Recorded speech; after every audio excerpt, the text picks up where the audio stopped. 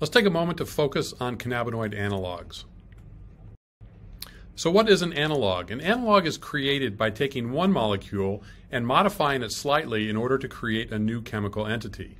In the instance of CBD, you can see on the left-hand side what its natural structure looks like. So this is how it occurs in nature. In order to create an analog, you would modify one of the chains on the side of the compound in order to improve it uh, in, in one way or another.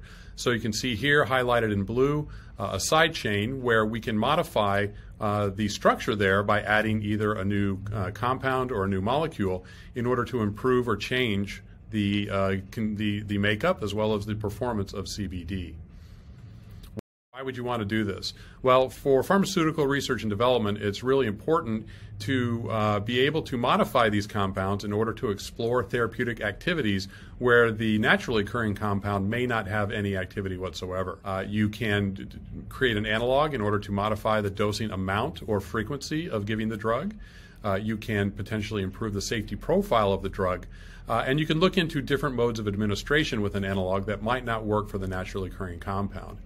But also, really key to this is that it helps protect the long term commercialization by filing a patent for this analog, uh, which we refer to as a new chemical entity, uh, as well as the method for manufacturing it. So, as we invest a lot of time, effort, and energy over the years in exploring the benefits of these compounds, on the back end, we can protect the commercialization against generics uh, and, and realize the full commercial potential of this new compound.